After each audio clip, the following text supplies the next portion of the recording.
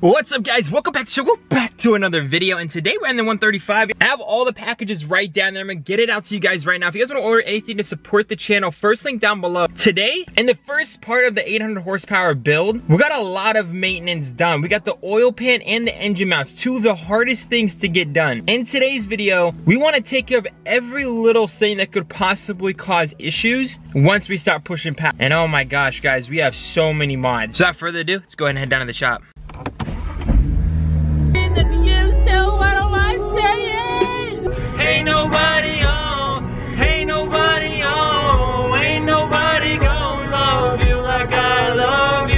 Or something next to the shop. Imagine that's our shop, guys. That would suck. Almost there, boys. All right, guys, so I just got down to the shop. Here's Johnny, my boy. He's just chilling. But today, we're gonna be working on the 135. So, uh, yeah, let's just open up the garage, get the car in here, and uh, see what we're about to do.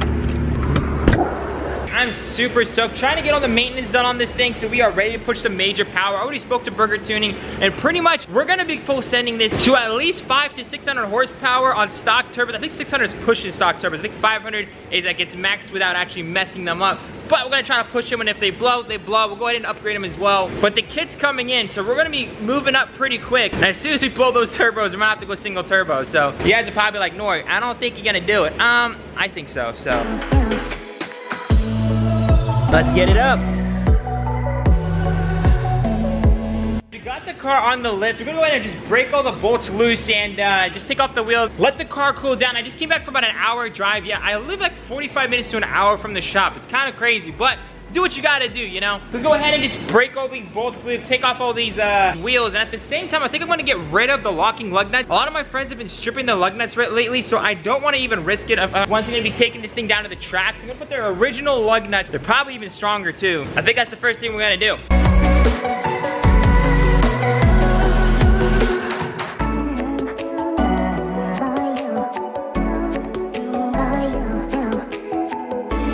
All right, guys, now that we got all the wheels off, uh, we're just gonna be waiting for all the brakes to cool down. So let me go and show you guys the new brakes that I got for this car.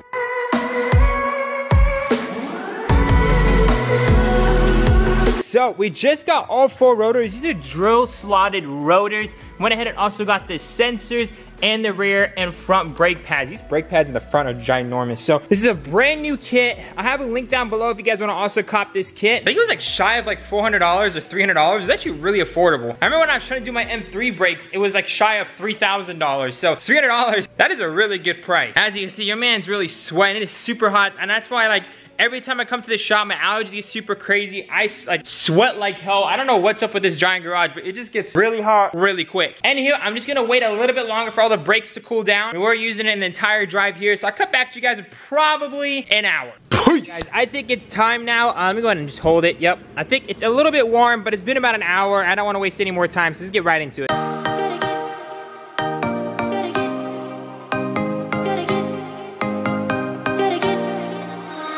We just got the caliper out and uh, looking at this, these pads look like they're literally gone. Like look at those. That is insane. These are pretty much shot. I can hold both of these in my hand like no problem. Look at the girth difference. That's how it's supposed to be and that's how it is. Let me go ahead and put it side by side on it. New and old. That is literally less than half. That's crazy. Even the, the plates are still on this, the plates literally disintegrated off of that. So we're gonna have to get rid of these guys. Actually, before we get rid of it, I think I need to compress it. Yeah, so me go ahead and put those uh, brake pads on there and recompress it. I'm gonna use a C-clamp for this. I'll show you guys how I do that.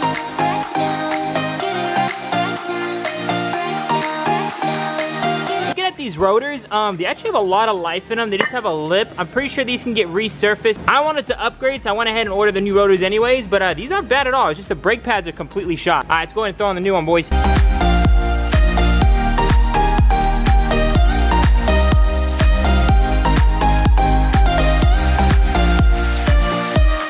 Absolute mess, guys, but we did it. Got the new brake pads in here, got the new rotor on here. Let's do the rest.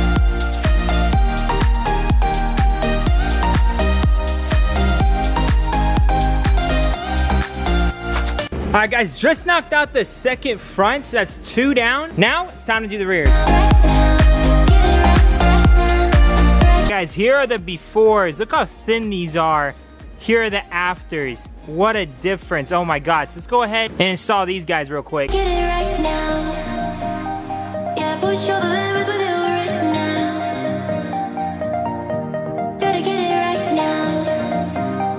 yeah, push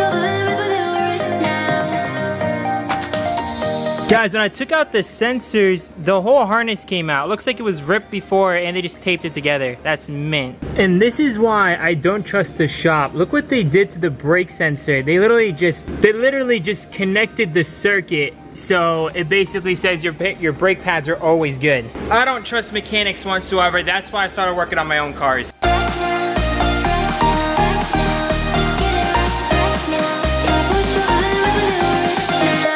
Alright guys, I just went ahead and finished this. Again, this is just dirt. It'll all come off once I actually start riding the car. I put in the new sensor. I pretty much just put one zip tie back here to hold it. I wired in the actual sensor.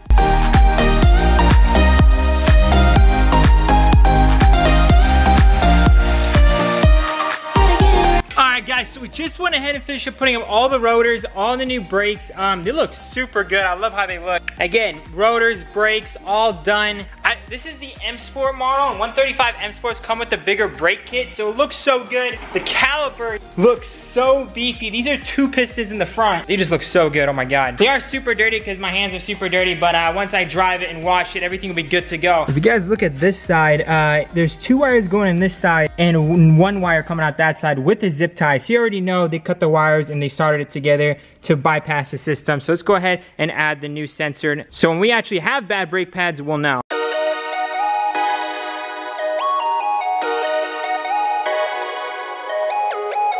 Alright guys, there's my actual fix. I got the wire routed right there and plugged into the bottom. So we finally have both sensors. We have all the caliper, we have all the rotors, all the brake. Let me go ahead and clean up all this mess real quick. And just like that guys, the car is officially down with the new brakes and rotors and sensors. The car needs a wash. Let's go ahead and get the car outside, give it a good wash, and then I'm probably gonna clean up and I'll see you guys tomorrow. Same video, but tomorrow. We got a lot more things we gotta do to make sure this thing's ready for some major power. But yeah, your man looks like an absolute wreck. So uh, yeah, oh my god, looks like I just got in a fight or something.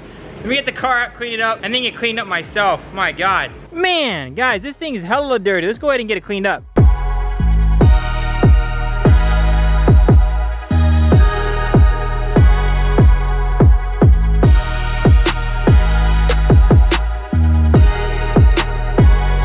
Guys, this is looking so much better. Oh my gosh. New everything. This thing's almost ready to kick some massive power. It's been an absolute long day. I am super dirty. I'm gonna go wash up in there before I head home. I don't wanna get like, I don't wanna get into the car like this.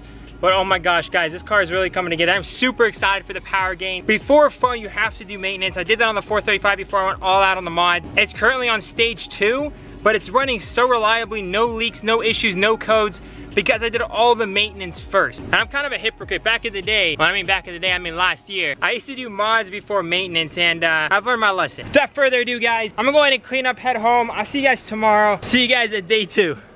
And welcome back to day two, y'all. So I'm over here heading to a gas station, eating my apple, trying to be a healthy little fella. So yeah, let's get some gas, drop off you guys' packages, because apparently yesterday was closed. I didn't really think of that. And then head down to the shop, meet up with Earlonne and Jonathan, and get some more stuff done. Guys, I'm kind of editing this, and I noticed I don't actually have a legitimate transition. So basically, uh, this next footage you guys are about to see is from two weeks prior. Uh, we needed to do the AC condenser, but we didn't have enough footage to add anything else to it. I didn't want to upload a five minute video, so we're just gonna go ahead and throw that in right now.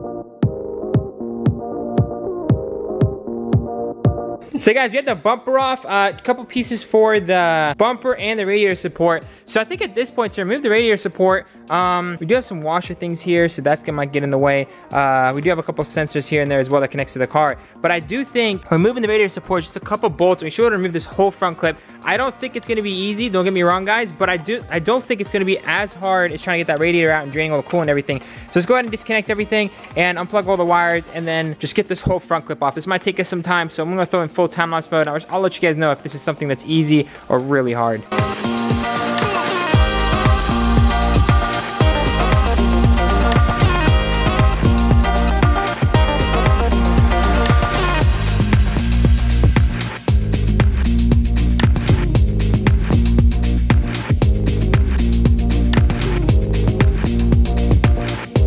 guys, this thing looks totaled, uh, but I do think we can fit in the condenser a whole lot easier now. What do you think? Sure.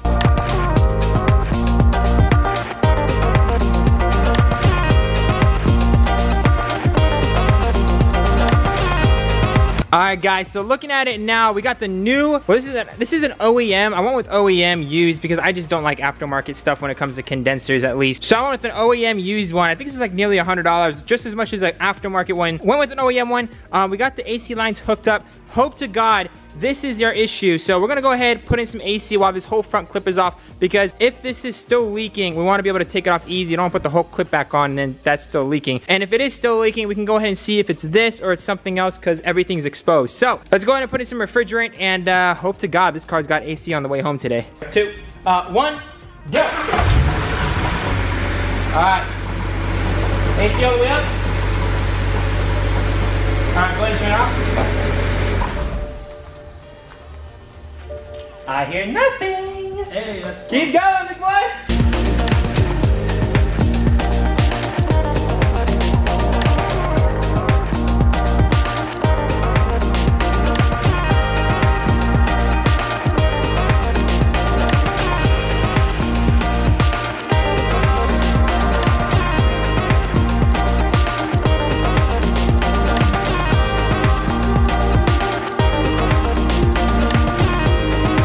guys, finally got AC working. Car finally passed smog. EVAP systems, everything's good to go. So no check engine, smog is ready. It's registered and we finally have AC. So you guys know what that means. Pretty much we should get straight into the mod. So we're gonna go ahead and reach out to Burger Tuning. We're gonna get everything we need to get this thing to either 450 or 500 horsepower on these turbos. And then once we blow them, uh, we'll go single turbo. Because honest to God, I think I'm gonna go full send on this build. I do, oh, I've always wanted a track build slash drift build. So uh, I do wanna build it and take it out and rip it and do all that good stuff. And yeah, as you guys saw, we are at the end of the video. So basically, car is registered. Car has pretty much everything it needs in terms of maintenance. Shout out to Erlon for coming out and helping me. And also shout out to Jonathan for also helping me on this car. The car is literally perfect and ready for some major power. Without further ado, guys, um, cop some merch to support your boy down below. I'll see you guys in the next one. I love y'all so much. Remember to stay humble. I'll see you guys in the next one. Peace out.